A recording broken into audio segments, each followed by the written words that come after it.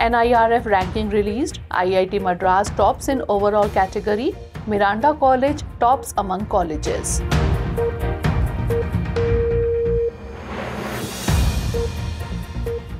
22nd Law Commission recommended continuation of sedition law, said necessary for unity and integrity, suggested increase in punishment.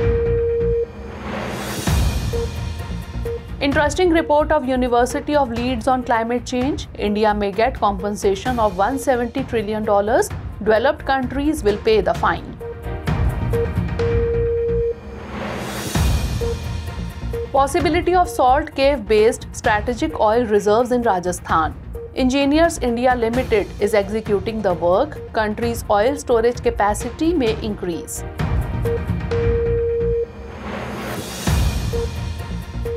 And report released on global slavery. India has highest modern slavery in G20 group. Research done on 160 countries. Recently, the 22nd Law Commission recommended retaining the sedition law with procedural safeguards and enhanced jail term. In this regard, the Commission recommended three changes in the sedition law. First, adding words like with a tendency to incite violence or create public disorder in Section 124A based on the 1962 judgment in Kedarnath versus State of Bihar. Second, at present, Section 124A provides for a jail term of up to 3 years or life imprisonment. It could be changed to 7 years or life imprisonment. Third, to prevent misuse of the law, the report suggests including a procedural safeguard that no FIR for sedition be registered until a police officer of the rank of inspector has conducted a preliminary inquiry and union or state government agreed with his report. Arguing in favor of the sedition law, the Commission said that it is necessary to protect the unity and integrity of India, as India is still affected by internal terrorism. The Commission also justified criminalizing sedition, saying it is a reasonable restriction under Article 19.2 of the Constitution. Significantly, last year, the Supreme Court had stayed the sedition law while hearing a case challenging the constitutional validity of Section 124A of the IPC. Also told the centre that no new case should be registered under it till reconsideration. Recently, Kerala High Court has said that the depiction of the upper naked body of a woman cannot be termed as obscene or indecent. To this, the court remarked that nudity should not always be equated with sexuality. Whether or not there is obscenity can only be determined in context. In such a situation, no one should be held guilty under obscenity law for political artistic expression unless the context is wrong. The court made this comment on a video posted by a social worker, Rehana Fatima, on a social media platform in 2020. In this video, two of her minor children were seen painting on her half naked body. After the controversy that arose after this video, various sections were imposed on Rehana. But the court believes that the purpose of the video was to hurt the prevailing female inequality and patriarchy in the society and not to spread obscenity. Let us tell you that, like in many countries, obscenity is considered a crime in India too. For this, there is also a provision of punishment under sections 292, 293, and 294 of the IPC, that is, Indian Penal Code. However, it has not been clearly defined anywhere in the Indian law, nor has its scope been specified. Section 292 of the IPC and 67 of the IT Act have described those material as obscene which is sensuous or produces sensuality or which on seeing, reading or hearing produces sensuality.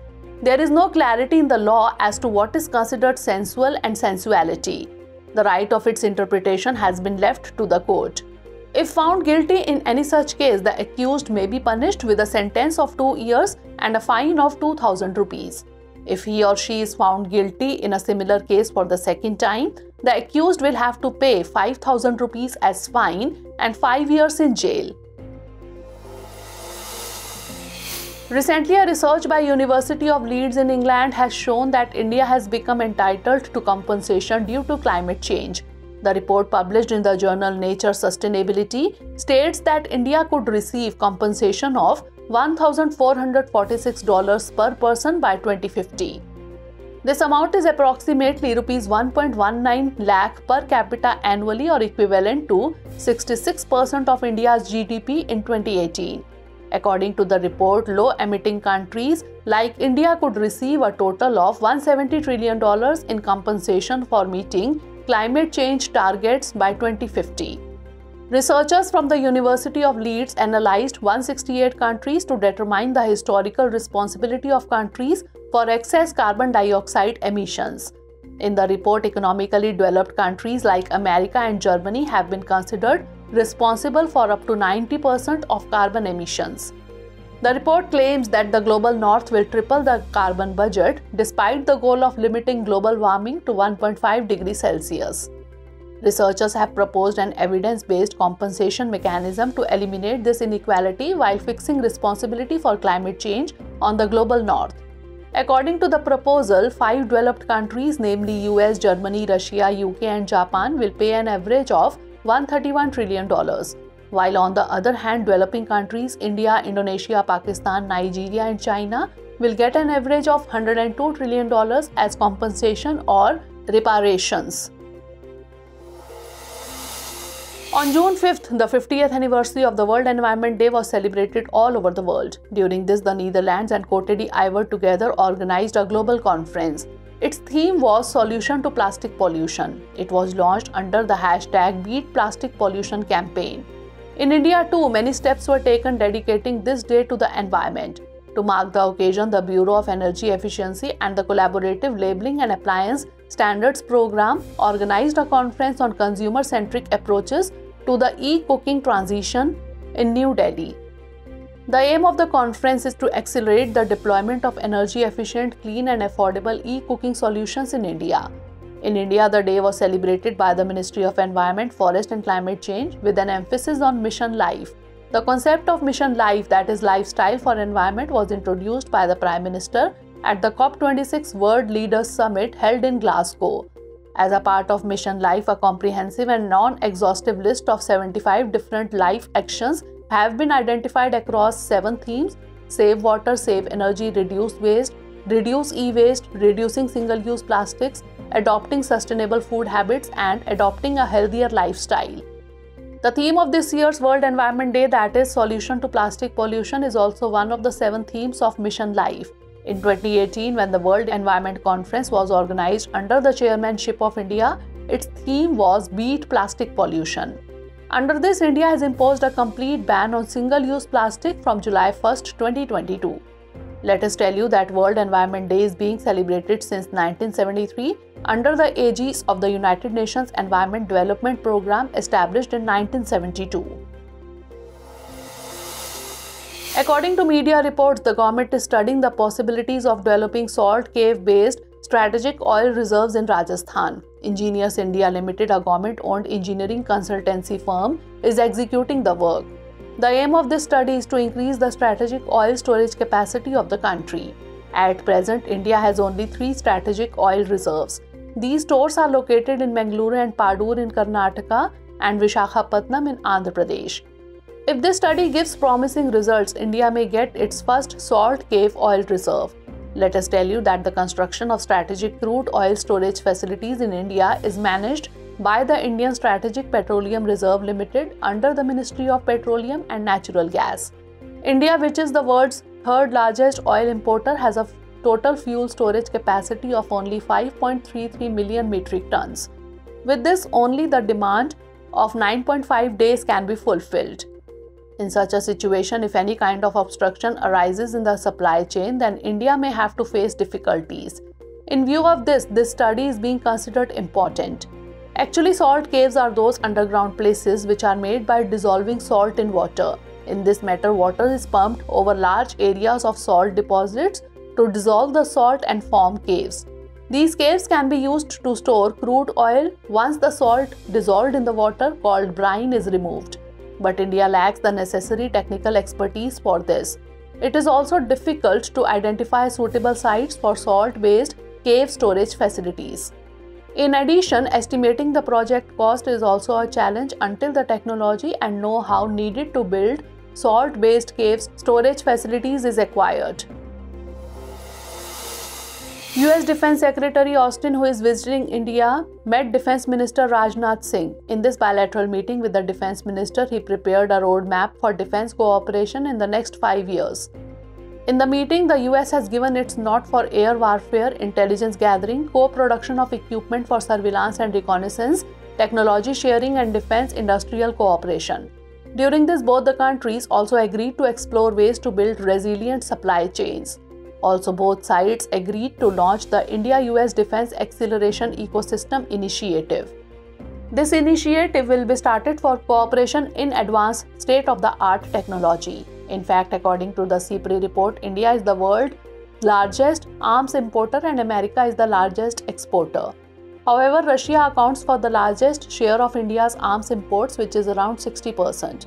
America wants to change this situation by preparing a defense roadmap with India. Till now, America has been opposing India's initiative to promote domestic industries in the defense sector, but now there is a change in America's attitude. China's increasingly aggressive policy in the Indo Pacific region and India's rapidly growing economy have made America a close ally of India.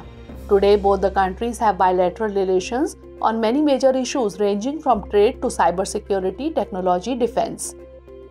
At the same time, in multilateral fora like Quad, I2, U2, G20, both the countries share the stage with each other and confirm their deepening relations. After this meeting, the speculation of a big defense deal has intensified during the Indian Prime Minister's visit to America.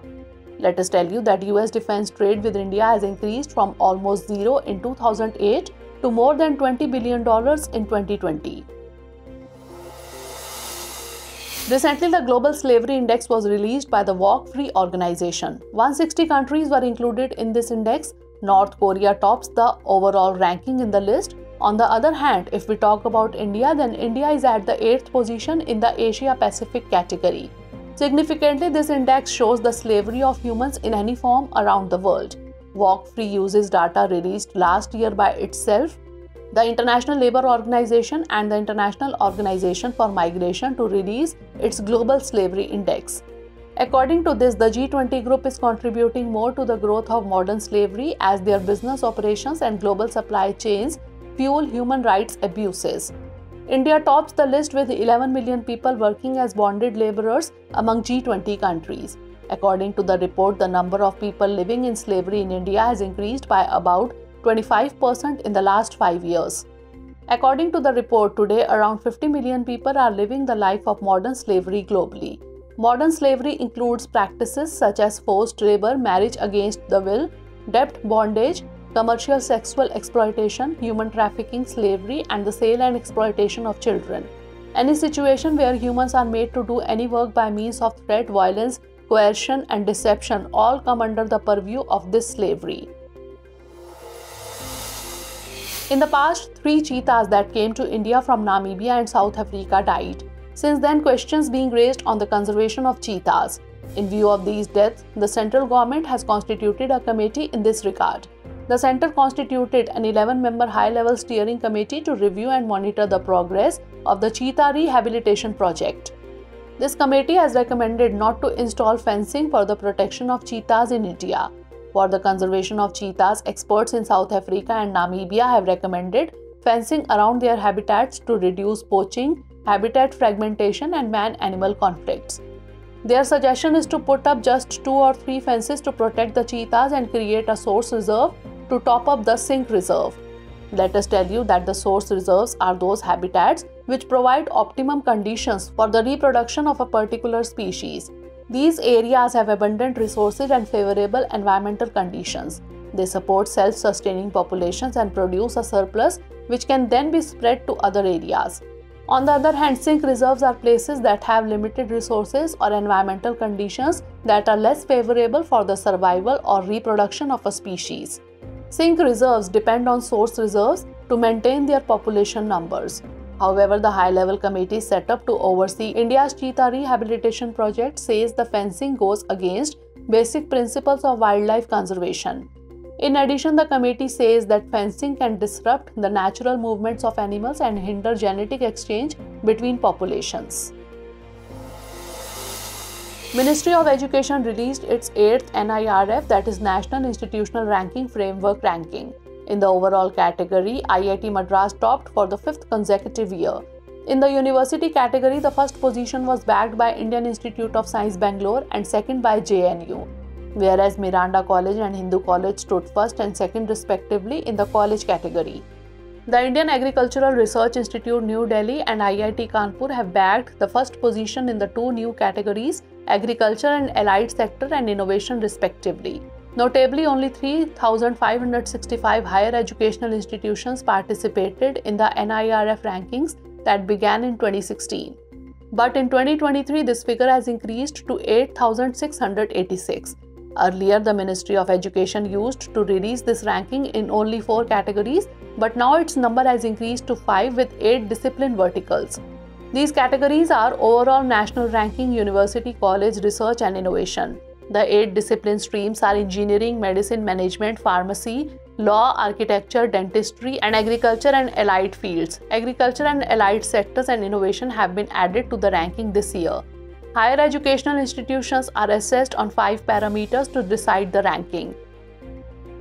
These are teaching, learning and resources, research and professional practice, graduation outcomes, outreach and inclusion, and peer perception. If we take a closer look at the NIRF rankings, we find that the overall category is dominated by institutions of national importance established by an Act of Parliament. Of the 100 institutes in the overall category, 36 are IITs and NITs. At the same time, there are 26 state universities and 7 central universities. But not a single private institute was successful in making its place in the top 10. Recently, the Union Ministry of Power and New and Renewable Energy announced to launch MAHIR, that is Mission on Advanced and High Impact Research. It aims to identify emerging technologies in the power sector, also to be developed indigenously on a large scale for use within or outside the country. Let us tell you that this mission will be launched jointly by the Ministry of Power and the Ministry of New and Renewable Energy. Also, this mission will be funded by pooling the financial resources of these two ministries and central public sector enterprises. Apart from this, the financial requirement will be met from the budgetary resources of the Government of India. Its duration has been kept from 2023-24 to 2027-28. The mission will have a two-tier structure comprising a technical scoping committee and an apex committee the Technical Scoping Committee will be chaired by the head of the Central Electricity Authority. The committee will survey and identify ongoing research and emerging areas globally. Along with this, the Apex Committee will also give its recommendations in this regard. The Scoping Committee will also identify potential technologies that can be considered for development under the mission. The Apex Committee will be headed by the Union Minister for Power and New and Renewable Energy. This committee will deliberate on the technology and products to be developed. It will also approve research proposals. The APEX committee will also work on international cooperation. Final approval of all research proposals and projects will be done by the APEX committee. Eight thrust areas have been identified for research under the mission. These areas include alternatives to lithium ion storage batteries, electric cookers or pans suited to Indian cooking methods, high efficiency fuel cells, carbon sequestration, geothermal energy. Apart from this, solid state refrigeration nanotechnology for electric vehicle batteries and indigenous cold rolled grain oriented technology are included. Recently, the Data Security Council of India has published a report titled Bridging the Gap Identifying Challenges in Cybersecurity Skilling and Bridging the Divide. According to the report, phishing, smishing, and vishing are the top three cyber attacks that are expected to increase the most in the future. After that, ransomware and zero day exploits can be expected to increase. The top three catalysts that could drive the demand for cybersecurity are First, the increasing use of artificial intelligence, machine learning, and Internet of Things by hackers. Second, rising regulatory liabilities. And third is the ever increasing use of digital platforms that are making data public on a large scale. These findings from the report suggest that there is a huge need for cybersecurity professionals in the country today. However, the report also reveals that such professionals are very few in corporates and cybersecurity professionals in more than 47% of corporates constitute only 5% of the total workforce.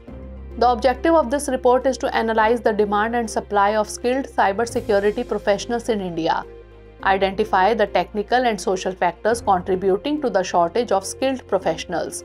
Along with this, solutions had to be found to address these differences through corporate social responsibility and a multi-stakeholder approach so that whatever deficiencies exist that could be removed.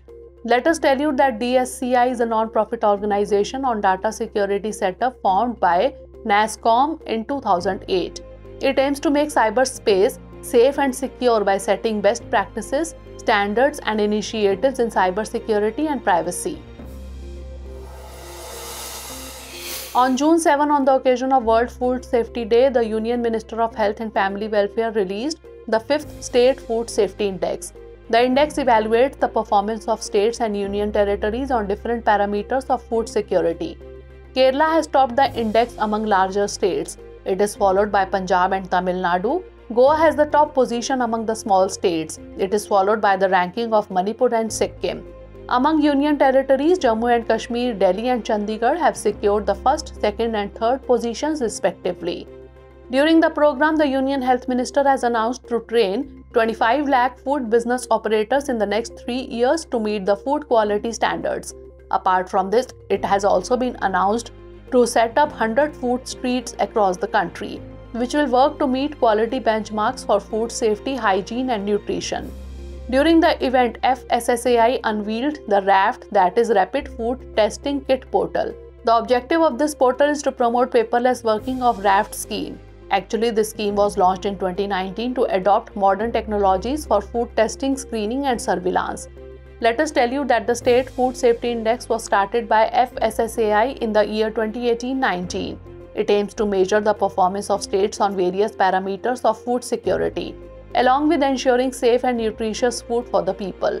Six parameters are included in this index. These standards include human resource and institutional data, compliance, food testing infrastructure, and training and capacity building. Apart from this, consumer empowerment and improvement in the state food security index are included. Let us now look at the five questions based on the bulletin. Questions for this series are first question is Consider the following statements. 1. Ministry of Education released its 8th National Institutional Ranking Framework rankings. 2. In the overall category, IIT Madras topped for the fourth year in a row. 3. In the university category, the first position was bagged by Indian Institute of Science Bengaluru and second by JNU. How many of the above statements are correct? Only one, only two, all three, or none. Next question is consider the following statements. Statement 1 India and the US agreed to launch India US Defense Acceleration Ecosystem Initiative. Statement 2 The objective of this initiative is to promote cooperation in advanced state of the art technology. Which of the following is correct about the above statements? Both statements 1 and 2 are correct, and statement 2 is the correct explanation of statement 1. Both statement 1 and statement 2 are correct, and statement 2 is not the correct explanation of statement 1 statement 1 is correct and statement 2 is incorrect or statement 1 is incorrect while statement 2 is correct. Next question is consider the following statements. 1. On June 5, the 51st World Environment Day was celebrated all over the world. 2. During this, Ireland and Cote d'Ivoire together organized a global conference. 3. This year's theme was Solution to Plastic Pollution. How many of the above statements are correct? Only one, only two, all three, or none. Next question is consider the following statements. Statement 1 Three cheetahs that came to India from Namibia and South Africa have died. For this, the committee constituted by the center has recommended not to build fences for the protection of cheetahs in India. Statement 2 The committee believes that fencing is against the basic principles of wildlife conservation. Which of the following is correct? Both statement 1 and statement 2 are correct and statement 2 is the correct explanation of statement 1. Both statement 1 and statement 2 are correct and statement 2 is not the correct explanation of statement 1. Statement 1 is correct, statement 2 is incorrect or statement 1 is incorrect and statement 2 is correct. Last question is consider the following statements. Statement 1 Recently, the Data Security Council of India has published a report titled Bridging the Gap Identifying Challenges in Cybersecurity, Skilling and Bridging the Divide. Statement 2 In this report, cyber attacks like phishing, smishing, and vishing are expected to increase the most in the future. Which of the following is correct? Both statement 1 and 2 are correct, and statement 2 is the correct explanation of statement 1. Both statement 1 and 2 are correct, and statement 2 is not the correct explanation of statement 1. Statement 1 is correct, and statement 2 is incorrect, or statement 1 is incorrect, and statement 2 is correct. Punjab and Himachal Pradesh are once again face to face over the Shanan hydroelectric project. Actually, this hydroelectric project is in Mandi district of Himachal Pradesh state, but its operation is under the Punjab government. This is happening on the basis of an agreement made in 1925 between Joginder Sen, the then ruler of Mandi state, and Colonel B.C. Batty, the British representative. At that time, under the agreement, the Mandi ruler had given his hydroelectric project on lease for 99 years. Now, because this lease is going to expire in 2024, the Himachal Pradesh government is claiming it while Punjab is against it. Let us tell you that the operation of this 110 megawatt project started in the year 1932. On World Tobacco Day, May 31, 2023, the National Commission for Protection of Child Rights launched the Nasha Mukt Amrit Kal campaign. The aim of this campaign is to promote a healthy and drug-free India. The program has been launched with the technical support of National Commission for Protection of Child Rights and Tobacco Free India, a citizens group. Under this, the children of the country will be made aware about the ill effects of tobacco and drugs. NCPCR, that is National Commission for Protection of Child Rights, is a statutory body under the Ministry of Women and Child Development. It was formed in 2007 under the Protection of Child Rights Act 2005. A cultural festival was organized in Paramaribo, Suriname to mark 150 years of the arrival of Indians in Suriname. Indian President Draupadi Murmu was awarded Suriname's highest honor, Grand Order of the Chain of the Yellow Star, on the occasion. She is the first Indian president to receive this honor. Significantly, in the year 1873, relations between India and Suriname started. The current president of Suriname, Chandrika Prasad Santokhi, is of Indian origin. He was the special guest of the 17th Pravasi Bharatiya Divas organized in Indore in 2023. Recently, the Nyay Vikas portal was launched by the Ministry of Law and Justice. The objective of this portal is to monitor the infrastructure projects built under Nyay Vikas. The portal will provide stakeholders seamless access to information related to funding, documentation, project monitoring, and approvals. This centrally sponsored scheme is being run by the Department of Justice under the Ministry of Law and Justice since 1993-94 for the development of basic facilities for the districts and subordinate judiciary. The Cabinet Committee on Economic Affairs, chaired by the Prime Minister, has decided to continue the coal and lignite exploration scheme from 2021-22 to 2025-26. An allocation of rupees 2980 crore will be made for this. It is a central scheme which was started in 1989. It is being operated through Mineral Exploration Corporation, Geological Survey of India, and Central Mine Planning and Design Institute. RBI recently unveiled a new financial inclusion dashboard called Antardrishti. The dashboard aims to provide valuable insights and track the progress of financial inclusion by capturing relevant data. This initiative has been launched to promote financial inclusion through a collaborative approach involving multiple stakeholders. Its biggest feature is that it will assess financial inclusion at the grassroots level. By identifying areas with low financial inclusion, policymakers can focus on implementing targeted measures to address the gaps and promote greater financial inclusion. As of now, it is launched only for internal use of RBI. Recently, the World Bank released the Global Economic Prospects Report. The report states that in 2023, the world economy may decline by 2.1%. In the report, the World Bank has reduced India's GDP growth rate for the financial year 2023-24 from 6.6% to 6.3%. For this decline, high inflation rate and decrease in private consumption have been attributed. However, the report assumes that the unemployment rate is declining. By the way, the GDP growth rate can also increase with the efforts of the government. Let us tell you that this report is released by the World Bank twice a year. Recently, the committee constituted by RBI has suggested to consider giving insurance coverage under the Deposit Insurance and Credit Guarantee Corporation to prepaid payment instruments also. The committee was constituted in May 2022 under the chairmanship of BP Kanungo, former Deputy Governor of RBI. It has recommended that RBI should think about its extension to both bank PPIs and non bank PPIs. This will not only improve customer service but also strengthen customer protection efforts. We should tell you that RBI defines PPI as an instrument of payment that facilitates the purchase of goods and services. PPIs are in the form of payment wallets like Paytm wallet, Amazon Pay wallet, PhonePe wallet, etc. Smart cards, mobile wallets, magnetic chips, vouchers, etc.